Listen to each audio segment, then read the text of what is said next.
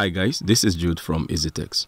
In this tutorial, I'll be showing you how to fix the problem of missing boot device during Windows startup. First, I'll be demonstrating this problem on this Lenovo L540 ThinkPad. So what happens is when I press the power button, it first shows this ThinkPad logo screen. And then it goes on to the Intel boot agent screen saying initializing and establishing link. And then I have this message saying media test failure, check cable, then exiting Intel boot agent and then it quickly takes me to this BIOS interface where I can choose some boot device. And here no matter what boot device I choose it still won't boot up. It either keeps me on this page or takes me back to the previous boot agent page and eventually brings me back to this BIOS page now I've had similar encounter with quite a number of laptops and for some laptops you won't see a page like this. Instead you will just get a similar error message. It could be as simple as no bootable device found, insert disk and hit any key to continue. For others you will get similar error message saying media test failure, check cable, exiting Intel boot agent, but no BIOS screen like this would follow. There are several possible reasons why you may be having this error, ranging from loose connections to faulty hard disk or faulty connectors or corrupt Windows files. It could even be that your hard disk got displaced from the BIOS boot order priority. So here I'll be walking you through how to check for each of these possibilities and hopefully you will have your laptop working properly again.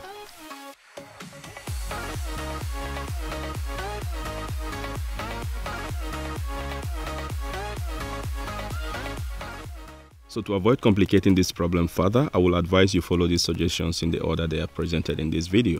The first thing you want to check when you encounter this problem is loose connections. Sometimes your laptop might experience some kind of shock or vibration that could cause your hard disk to come loose from the connector.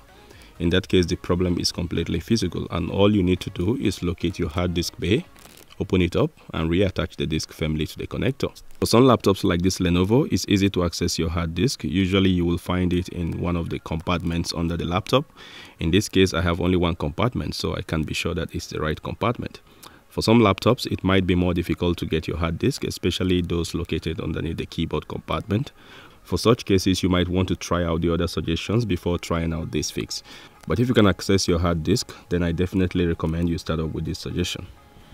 Now as you can see from this laptop, the hard disk seems quite in place, but still I will loosen it out, clean the connectors a bit and then reattach it firmly again. This will get rid of any dust or debris that could be hindering contact between the disk and the connector on the motherboard. Now put back all the screws and try to put it up again.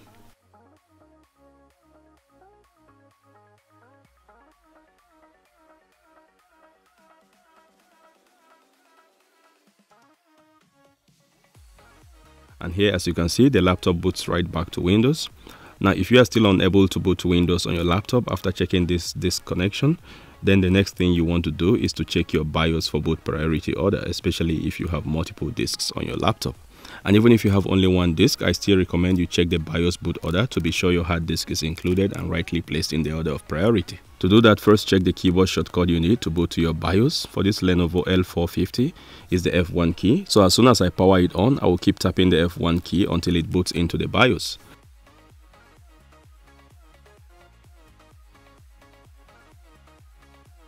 Now your BIOS interface might look different from mine, but however it looks, try to find the option or tab related to the startup. In my case, it's just startup. Yours might be boot option or boot order or something like that. Here I will go to the startup tab using the arrow keys and then go down to where it says boot and hit enter.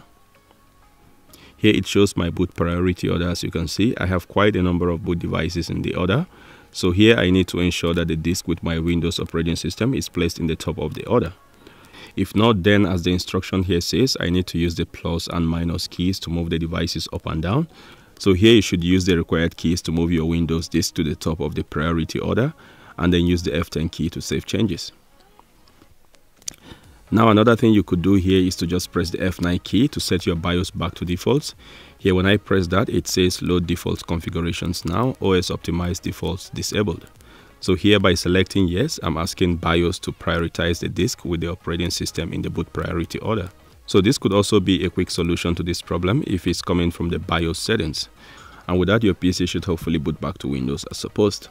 However, if this still doesn't solve the problem, then there is also the possibility that the path to your Windows operating system can be traced by the BIOS.